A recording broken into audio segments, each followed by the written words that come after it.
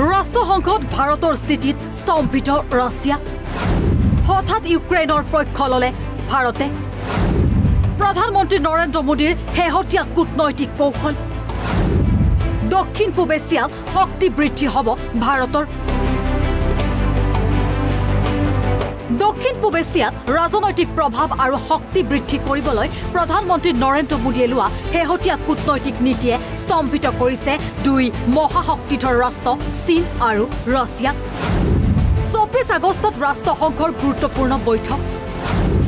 ৰাষ্ট্ৰসংঘৰ নিৰাপত্তা পৰিষদৰ বৈঠকত গুৰুত্বপূৰ্ণ প্ৰস্তাৱ। ৰাছিয়া ইউক্ৰেইনৰ যুদ্ধক লৈ ৰাষ্ট্ৰসংঘত জৰুৰী আলোচনা। ৰাষ্ট্ৰসংঘৰ নিৰাপত্তা পৰিষদত অস্থায়ী সদস্য হৈ আছে ভাৰত। দুহেজাৰ বাইছৰ ডিচেম্বৰলৈ নিৰাপত্তা পৰিষদত থাকিব ভাৰত। ৰাষ্ট্ৰসংঘৰ বৈঠকত অংশগ্ৰহণ কৰে ইউক্ৰেইনৰ ৰাষ্ট্ৰপতিয়ে। ভাৰ্চুৱেলি উপস্থিত থাকে ইউক্ৰেইনৰ ৰাষ্ট্ৰপতি ভলডিমিৰ জেলেন্সকি।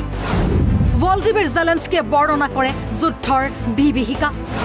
ভাৰ্চুৱেল বৈঠকত উপস্থাপন কৰে মানৱতাৰ বৈঠভূমিৰ জীয়া ছবি ৰাষ্ট্ৰসংঘৰ নিৰাপত্তা পৰিষদৰ বৈঠকত ৰাছিয়া আৰু চীনক স্তম্ভিত কৰি ভাৰতে পোনপ্ৰথমবাৰৰ বাবে ইউক্ৰেইনৰ পক্ষত ভোটদান কৰে আৰু তাৰ লগে লগে উৎফুল্লিত হৈ পৰে ইউক্ৰেইনৰ ৰাষ্ট্ৰপতি ভলডিমিৰ জেলেন্সকি। কিন্তু ভাৰতৰ এই সিদ্ধান্ত কিয়? ভাৰতক চাপত ৰাখিবলৈ ষড়যন্ত্ৰ ৰচিছে চীনে। চীনৰ স্থিতিক নীতিগত কাৰণত সমৰ্থন আগবঢ়াইছে ৰাছিয়াই। শ্ৰীলংকা বাংলাদেশ আৰু পাকিস্তানত সামৰিক ঘাটি পাতিছে।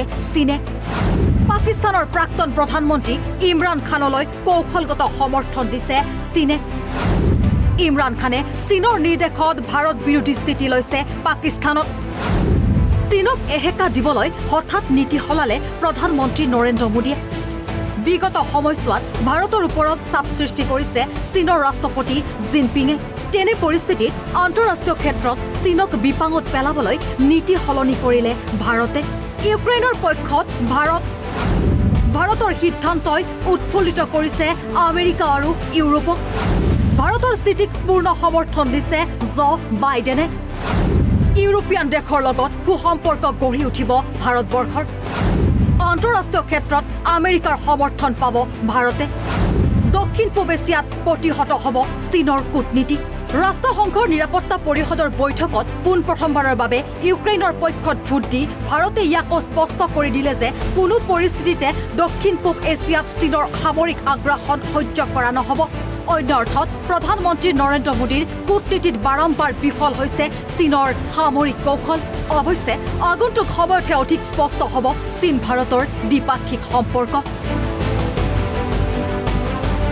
মানৱেন্দ্ৰ কুমাৰ দাসৰ বিশেষ প্ৰতিবেদন অসম লাইভ টুৱেণ্টি ফ'ৰ